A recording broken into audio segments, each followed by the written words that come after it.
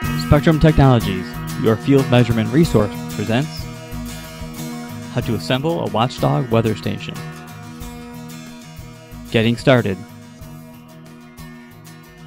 Open the box and remove the manual.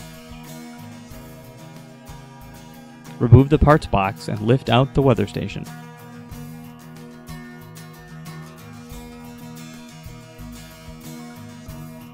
Remove the plastic wrapping.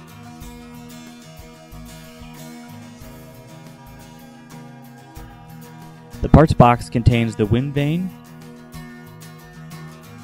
the wind cups, four AA batteries, a ground screw,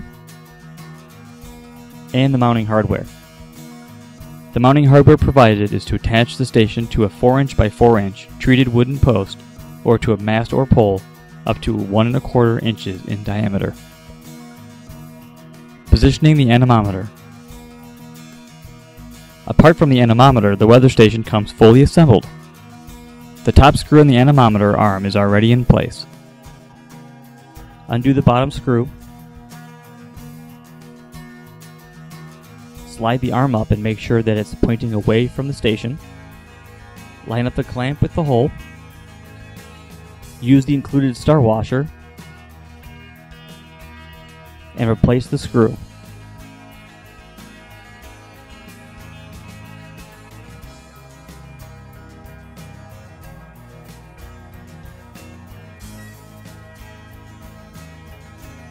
Make sure both screws are on tight.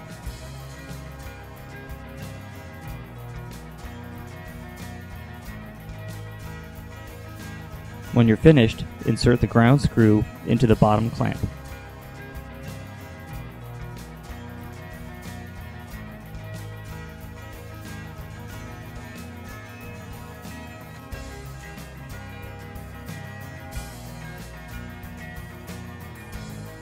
Installing the anemometer.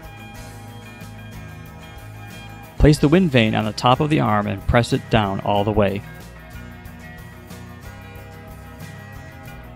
It should turn freely.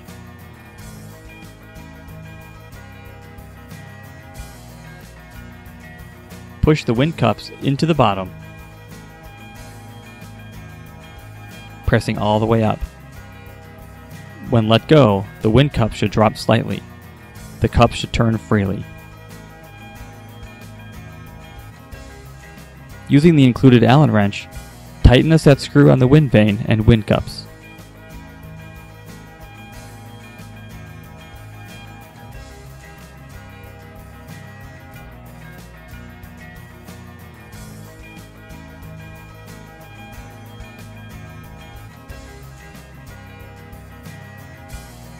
When finished, you can tape the Allen wrench to the inside door of the weather station for easy access when doing adjustments. Installing the batteries. The stations are powered by the included four AA batteries, which should provide continuous power for up to one year. The battery compartment is accessed by removing the thumb screws on the upper cover of the station. Insert the four batteries. Whenever the batteries are replaced, the time and date must be reset immediately so the data is time-stamped correctly. The station will beep and the screen will flash to prompt you to set the date and time. Then put the battery cover back on. Prepare the mounting brackets. Slide the U-bolt into the mounting bracket Make sure the rounded side of the bracket faces towards the rounded side of the U-bolt. Insert the bracket. Then put on the washers and nuts.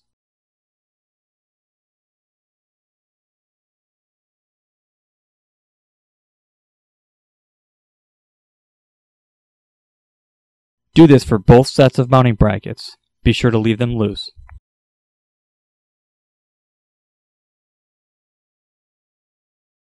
Mast pole insulation. Align the weather station and the pole, then slide the station down as far as it goes. Tighten the four nuts and make sure the station is secure.